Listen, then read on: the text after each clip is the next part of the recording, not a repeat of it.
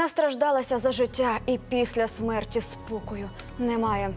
У Києві рідний син по звірячому убив і розчленував свою матір.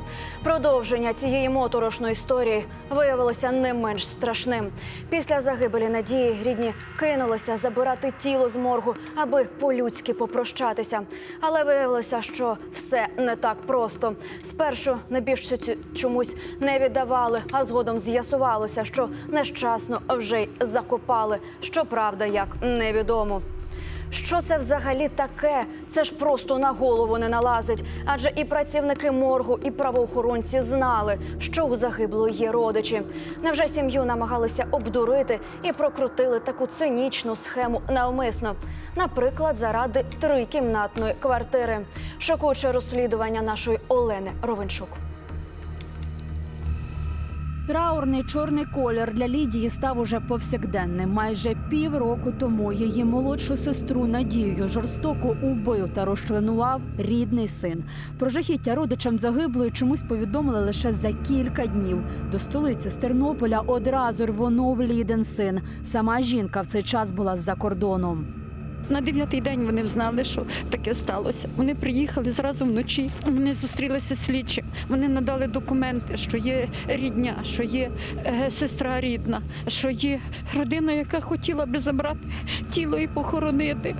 Але правоохоронці відправили рідню додому. Мовляв, потрібно ще провести купу експертиз, і доки їх не зроблять, забрати тіло бідолашної жінки вони не зможуть. Сім'я чекала понад місяць, обривала телефони слідчого, аж доки нарешті він дав дозвіл на поховання.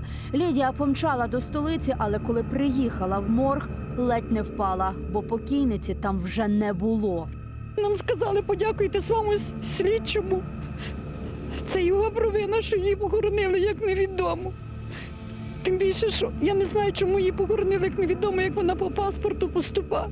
Прийняли її в морг по паспорту. Надію, наче якусь волоцюгу поховали на задвірках цвинтаря серед безхатьків та невідомих. Рідні ледве змогли знайти її могилу. Замість імені лише табличка з номером та датою поховання. Дав дозвіл на поховання за державний кошт, не дивлячись на те, що в нього були документи, які підтверджували, що померла її сестра, і не дивлячись на те, що сестра обривала йому телефон і просила, благала видати тіло. Родичі у розпачі, бо не змогли попрощатися із Надією і поховати її пошматоване тіло по-людськи. У кричущій халатності звинувачують слідчого, який вів цю справу. Але в Подільському управлінні поліції запевняють, помилка була не їхня.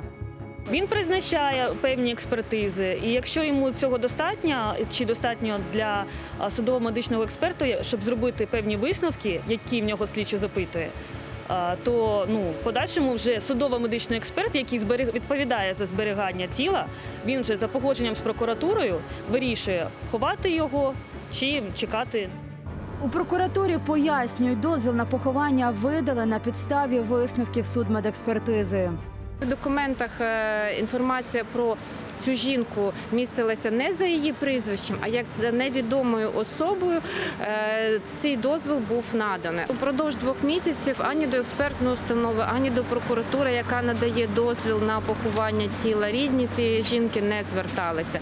Але куди подівся паспорт вбитої? Чому слідчий не вказав, як її звали? Адвокати родини переконані, така плутанина сталася неспроста. Хтось уже поклав око на порожню трикімнатну квартиру Надії. Зараз квартира, у якій сталася моторошна розправа сина над матір'ю, опечатана, але ці наліпки тут з'явилися не одразу після убивства. От сусіди частенько бачать, як біля дверей ошиваються якісь незнайомці, і вони аж надто настирливо розпитують у них про родичів загиблої господині. В квартиру, як нам повідомили сусіди, вірвались невідомі, які перевернули квартиру і щось там шукали. Що ми не знаємо. Це все робить логічний зв'язок з тим, що похована як невідомо. Якісь люди шукали документи, питали про квартиру. Формально власник житла син душогуб, але Сергій зараз у спецзакладі. Експертиза ще з'ясовує, чи він взагалі осудний. Родичі розповідають, що чоловік ретельно готувався до вбивства матері. Навіть книгу з анатомії купив, аби знати, як правильно розчленувати її тіло. Після скоєного Сергій хотів винести рештки у ліс, а сам думав втікти в Донецьк. Але моторошний план провалився. Копи схопили нелюда на залізничному вокзалі у Білій церкві. Сестра здогадувалася, у якому пеклі жила Надія останні роки. Син постійно дубасив її та душив, але жінка жаліла свою кровинку.